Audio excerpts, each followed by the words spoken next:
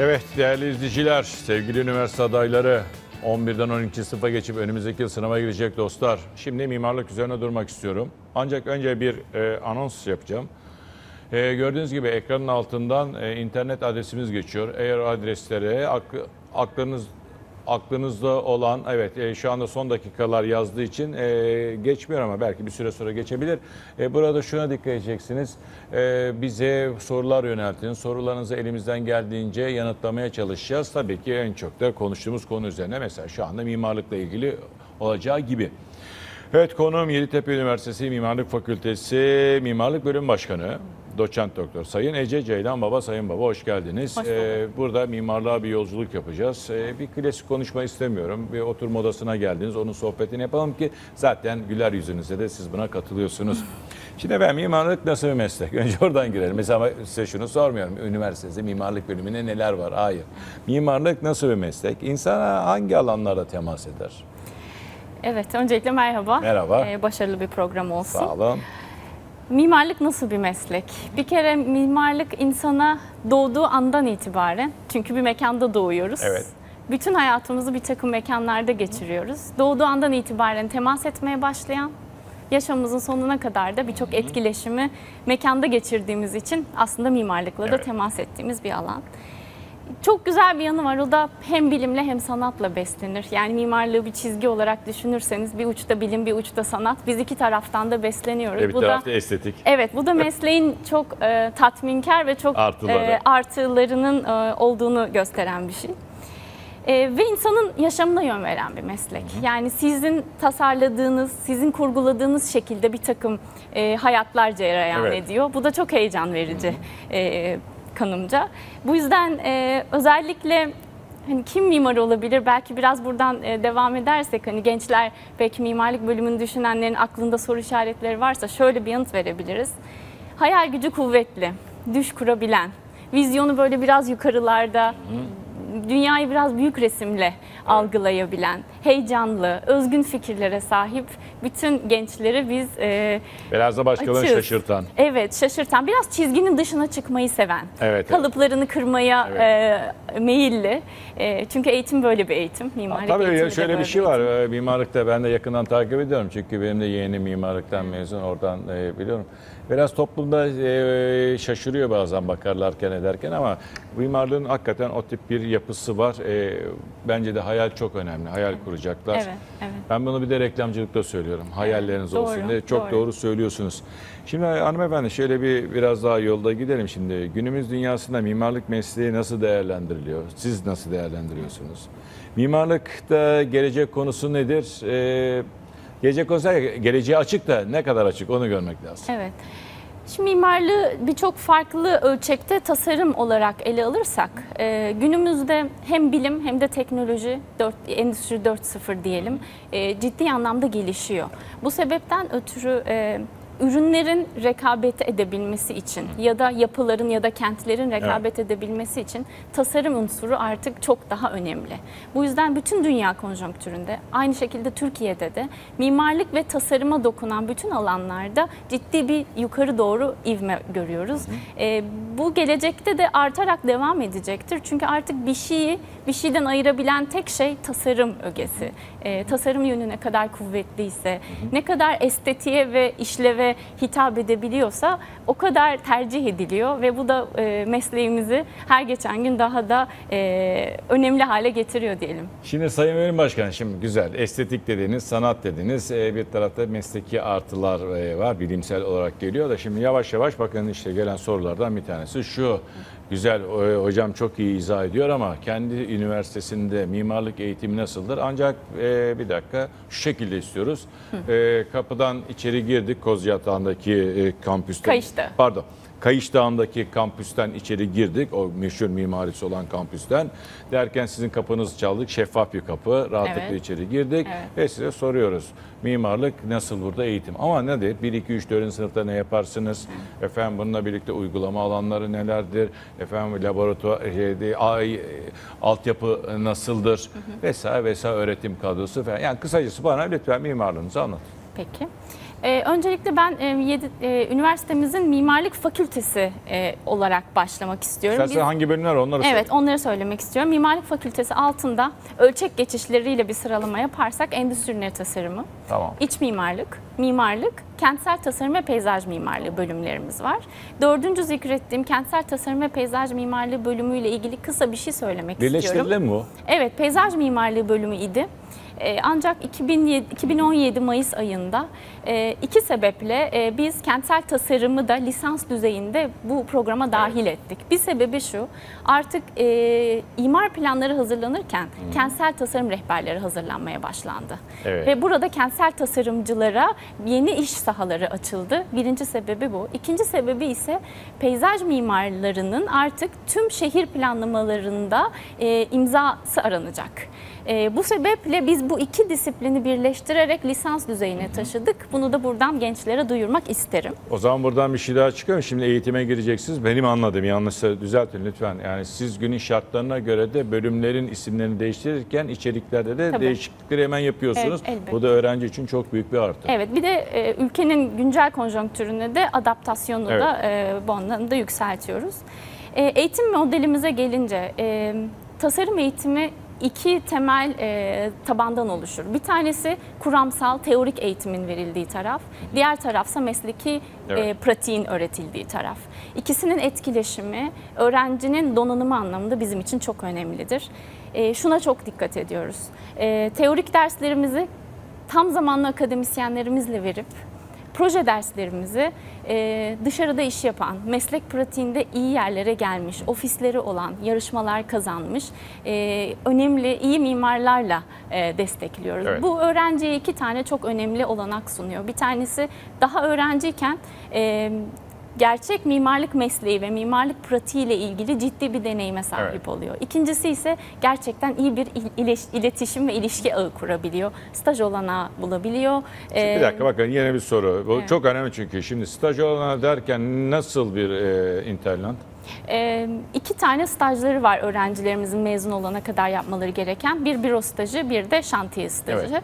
E, söz ettiğim akademik kadroyla yani e, meslek Evet. pratiğinden gelen mimarlarla yaptıkları e, derslerde onların ofisinde staj ve iş olanağı bulma imkanı sağlıyoruz öğrencilerimize. Bu da tabii çok büyük bir e, artı getiriyor.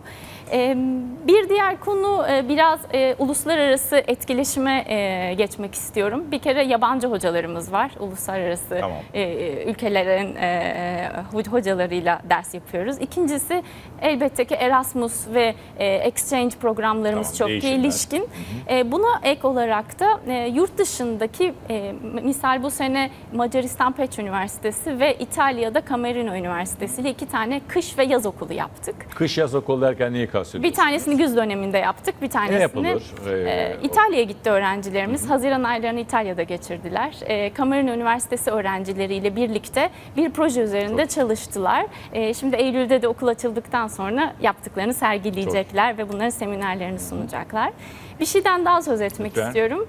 E, üniversitemizin mimarlık öğrencileriyle e, geçen sene üniversitemizin kampüsüne ait bir yapıyı tasarladık. Ha, şimdi onu da e, bahsedin. Evet. E, tekrar mı yapıyorsun? Bir şey var orada. Söyle. Evet, e, üniversitemizin e, büyüyen bir kampüsüz, büyüyen bir üniversiteyiz. E, şunu da söyleyelim, vakıf üniversiteleri içinde en eski mimarlık bölümü ve mimarlık fakültesi. O Evet. nedenle oldukça köklü ve Hadi şunu da söyleyin o zaman. Geldik oraya kadar e, kampüsün mimarisi Selçuklu Evet. değil mi? Evet, bir e, külliye, Külliye e, şeklinde, şeklinde. Gerçekten İstanbul'un merkezine çok yakın.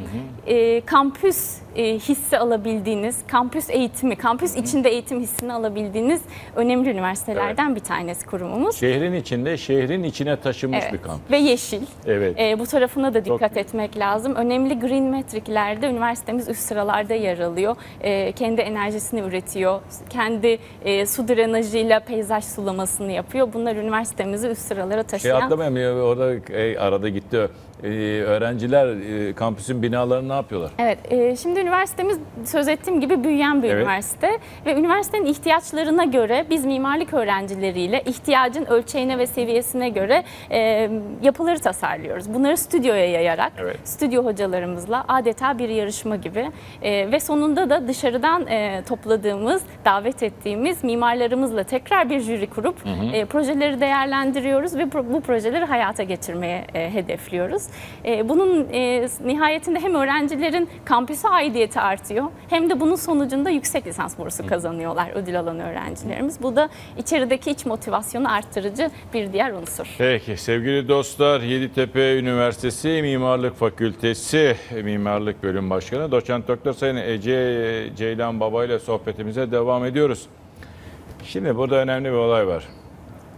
Hocam e, mimarlık seçmek isteyen öğrenciler ne tavsiye edersiniz? Hadi ben geldim size tavsiye edin. Yani şimdi Tercihle herkese mimar olmayacak yani. Evet, e, bir kere çok disiplinli olmayı. Yani çok disiplinli derken çalışma disiplinden söz etmiyorum. Çok disiplini bir arada etkileşim halinde kullanabilme. e, bu bir aslında yöneticilik yeteneği gibidir. E, özgün fikirlere sahip olmak, eleştiriye açık olmak bu çok önemli bir unsur mimarlık öğrencisi için. Çünkü eleştirile eleştirile gelişen bir e, süreci var. E, güncel dünyayı merak eden, takipçi, merakçı, meraklı e, bir kişiliğe sahip olmalarını bekliyoruz. Az önce de söyledim, sorgulayabilmeli, hayal gücünü kullanabilmeli, e, düş kurabilmeli. Evet. Özgüvenli olabilmeli, eleştiriye açık olup özgüvenli, biraz daha e, fikrinin arkasında durmayı da bilmeli. E, böyle bir e, öğrenci profili bekliyoruz. Şimdi Sevgi Hocam soru gönderen gençlerden biraz özel olayım. Sizin üniversiteyi tercih etmeyi istiyormuş genç. Bir yapay zeka mimarisi gördüm. Bunu bize biraz hoca açar mı diyor. Tabii ki. Şimdi yapay zeka günümüzün çok önemli kavramlarından bir Evet. tanesi.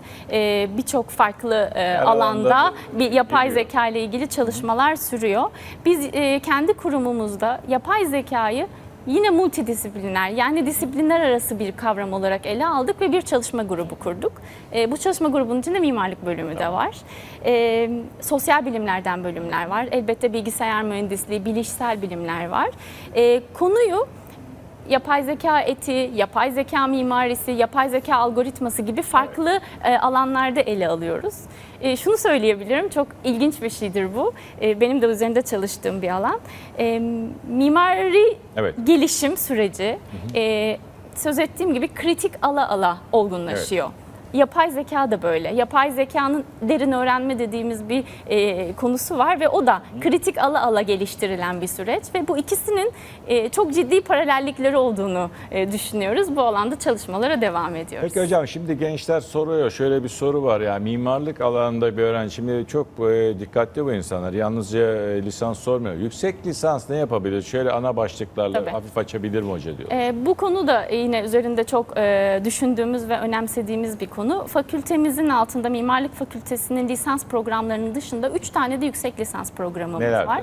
Bir tanesi mimarlık ana bilim dalı. Mimarlık alanında, kendi dalında, kendi alanında ilerlemek isteyen e, mezunlarımıza e, destek verdiğimiz bir bölüm. İkincisi sürdürülebilir yapılı çevre. E, Evet. Bu ilk kez bu yıl öğrenci almaya başlayacak bir e, yüksek lisans programı. İçerik E, nedir? Çok hafif böyle bir giri. E, ekoloji, yeşil mimari, doğa dostu tasarımlar. Bunları destekleyecek yine yine bu da interdisipliner bir Çok e, yüksek lisans programı. Malzeme bilimi, yapı malzemeleri teknolojileri gibi böyle ila- çevre mühendisliği, e, kentsel tasarım e, gibi alanları kapsayan böyle kocaman e, büyük bir e, girişim. E, bir de peyzaj mimarlığı bölümümüzün yine kentsel tasarım ve peyzaj mimarlığı bölümümüzün bu yıl e, öğrenci alınmaya başlayacak yeni bir yüksek lisans programı mevcut. Şimdi bakın e, değerli dostlar Yeditepe Üniversitesi Mimarlık Fakültesi Mimarlık Bölüm Başkanı Doçent Doktor Sayın Ece Ceylan Baba'ya bakın şunu soracağım. Şimdi efendim bir mimarlık e, fakültesinde ya da pardon bölümünde okuyan bir öğrenciye acaba hangi bölümlere çift ana dal yapabilir? Öncelikle fakültemizin altındaki bütün e, tasarım bölümleri yani Bir kez daha endüstri söyleyeyim. tasarımı, iç mimarlık, e, ve kentsel tasarım ve peyzaj mimarlığı. Bu üç alanda kesinlikle zaten e, çok fazla e, talebin olduğunu söyleyebilirim. Çok fazla öğrencimizin bu etkileşimden faydalandığını söyleyebilirim. Ancak bizim kurumumuz çift ana dal ve yan dala e, özel bir e, önem e, vermekte ve biz fakülteler arası e, farklı disiplinlerin de çift ana dal ve yan dal programlarıyla etkileşim haline girmesine çok önem veriyoruz. Bu yüzden sadece fakülte içi bölümlerden söz etmiyorum. Mesela inşaat mühendisliği, mesela bilgi teknolojileri, bilişim, hukuk, e, hukukta bilişim, e, moda tasarımı, görsel iletişim tasarımı e, sayabilirim. E, çok fazla farklı bölümle e, çift ana dal ve yan dal yapan öğrencimiz ya da o bölümlerde okuyup bizimle çift ana dal ve yan dal yapan öğrencimiz mevcut. Bir devlet üniversitesinden bir genç soruyor. Mimarlık fakülte bölümünde okuyorum. Ee, acaba e, Sayın Baba bana hangi bölümler pardon ha yanlış anladım. Mimarlık fakültesinde değil bir başka bölümde okuyor oradan girelim olaya geneli almak istiyorum. Tamam. Mimarlıkla çift anadal yapabilir miyim? Dışa hangi bölümlerden mimarlıkla çift anadal yapar? Dışarıdan şimdi. Bu içeridendi. Ee, Sizinkiler kurum yaptı. Şimdi dışından dışarıdan mı? geliyor. Hayır, hayır, kurum, kurum dışında değil. içinden. Şimdi mimarlık bölümündekilerin çift anadalını gördük. Şimdi Evet. mimarlık bölümünde okumayanlar mimarlıkla çift anadal yapabilir mi? Hangileri yapabilir? Az önce söylediklerim bur- burası için de geçerli. Yani biz, mi biz kurum olarak e, disiplinler arası etkileşimin çok kıymetli olduğunu düşünüyoruz ve ben de şahsımda dünyanın böyle bir yere gittiğini düşünüyorum. Yani o sert, o statikocu çizgiler artık yok. Onları inceliyor. Bütün meslekler diğer mesleklerle etkileşim halinde ve girift bir ilişkiye Evet. sahip. Bu yüzden az önce söylediğim gibi başka bir fakültenin başka bir bölümünden bir öğrenci mimarlıkta çift ana dal yapmak isterse protokolü varsa direkt başlayabilir. Allah hocam Yoksa da sorular ya. Bir tanesi de şu geldi şimdi hemen. Mimarlıkla iç mimarlık çift anadal en doğrusu olmaz mı diyorlar. böyle bir şeyin doğrusu yanlışı yok. Burada birey çok önemli. Bireyin ne istediği Sizce? çok önemli. Ee, Ya yapılır mı mimarlıkla Tabii iç ki mimarlık? yapılır. Yani Tabii ki, tabii ki Şimdi yapılır zaten. Bakın ya, evvelen şunu soruyorlar. Havuzunuz var mı? Şu mu? Bakın neler soruluyor. Çok yani Yok, değişik bir kesinlikle jenerasyonla karşı yapılır e, ve ben çok da teşvik ediyorum. Çünkü çok fazla mimarlık bölümü var, çok fazla mezun var. E, mezun olduktan sonraki rekabette bu tür artılar ön plana çıkacak. Bakın bir grup itiraz ediyormuş. Mimarlık bölümünde endüstri tasarımı daha iyi olur diyormuş. Bu da, bu Bakın da işte farklı. nereye bu girdi da- olay şimdi? Bu da farklı bir bakış açısı. Hepsi farklı ölçeklerde tasarımı öğreten bölümler ve birey burada ne istediğini biliyorsa zaten doğru bölümle e, kendini buluşturacaktır. İstanbul'da mimarlık bölümünde okumak avantaj mıdır? Kesinlikle. Bu ilk Niye? derste O da ilk, bir soru bakın. ilk derste öğrencilerime söylediğim şey şu. Aa bak neyse öğrenciler hocam uyanık çocuklar ya. Meslektaşlarıma e, ya da meslektaş adaylarıma ilk söylediğim şey şu. İstanbul'da mimarlık eğitimi alarak mesleğe 1-0 önde başlıyorsunuz. Çünkü İstanbul yaklaşık 6500 yıllık Tarihi. tarihe sahip. Birçok iyi ve iyi olmayan örneği içinde barındıran Her şeyi e, görüyorsun. gözlemleyebildiğiniz şöyle söyleyeyim bir anket okumuştum E, mimarlık öğrencilerinin %85'inin ilk 3 görmek istediği ilk 3 şehirden biri İstanbul. E, bir öğrenci bu şehirde bu eğitimi alıyorsa gerçekten çok şanslı Çok şanslı e, diyorsunuz. diyorum. Efendim tabi burada sorular geliyor ama bir taraftan yine bir genellemeye gideceğim. Şimdi çünkü başta bir konuştuk ama burada da alacağım. Bir e, mimarlık e, bölümü seçerken siz hangi özellikleri bir kez daha gençler önüne bir serin bakalım. Tamam. Görsünler. Yani öğretim kadrosundan başlayın. Çift anadallar, yurt dışı artık isimler vererek devam gidebilirsiniz. Stajlar, Evet. e, İstanbul'da yaşamanın tekrar artıları vesaire vesaire gibi. Evet, öncelikle mimarlık e, öğrencisinin az önce söylediğimiz gibi vizyonunun yukarıda olması, e, ufuk çizgisini biraz e, e, manipülatif kurgulayabilmesi, heyecanlı olması e, bizim çok istediğimiz özellikler. E, ve bir mimarlık e, tercih edecek öğrencilerin şuna çok dikkat etmesi lazım. Evet, akademik kadro çok önemli. Akademik kad- kadro artı eğitim esnasında e, etkileşime girebileceği mimarlar, profesyoneller, meslek insanları kimler? Kimlerden proje dersi Sorular. alabilirler? Mimarlık ve iç mimarlık 24 saat yaşanan meslek? Doğru. Onu da Bu, bu da ayrı bir şey. Ben şimdi ya hocam bu bitmez mi işte? Bitmez. Bunu da söylüyorum hep yine ilk dersimde İstanbul'a ek olarak e, bu bölüme adım atarak bir gözlük takıyorsunuz ve bu gözlük hayatınız boyunca bir daha hiç çıkmayacak. 7-24 siz artık o gözlüğün arkasından dünyayı görmeye başlayacaksınız. Daha eleştirel, daha mekansal, daha kavramsal bakmaya başlayacaksınız dünyaya. Bu tabii çok büyük bir artı. E, entelektüel tarafınızı çok geliştirmenizi gerektiren, e, mesleki tarafınızı çok geliştirmeniz gereken, sürekli de devinim halinde, sürekli değişiyor. Gün, dünya gündemi değişiyor. Bundan 3 yıl önce yapay zeka ile mimarlığı yan yana koyamazdınız. Şimdi aynı platformda biz aynı farklı kavramları bir arada tartışır Ya hale geldik. geçenlere bir mütevellit baş pardon rektör dostum geldi bana dedi ki 10 sene sonra burada senin yerine robot olacak dedi. Benim adımı Sayit Robot koydu. mümkündür, mümkündür. Böyle birçok benim kendi alanım kentsel ütopya ve distopyalar. Ee, birçok böyle distopya var. Peki efendim programın sonuna geldik. Çok değerli konuğum Yeditepe Üniversitesi Mimarlık Fakültesi Mimarlık Bölümü Başkanı Doçent Doktor Sayın Ece Ceylan Baba. Çok teşekkürler. Ben teşekkür ederim. Çok keyifliydi. Dostlar yarın saat 14'te tekrar bir arada olmak dileğiyle hepinize mutlu bir akşam diliyorum.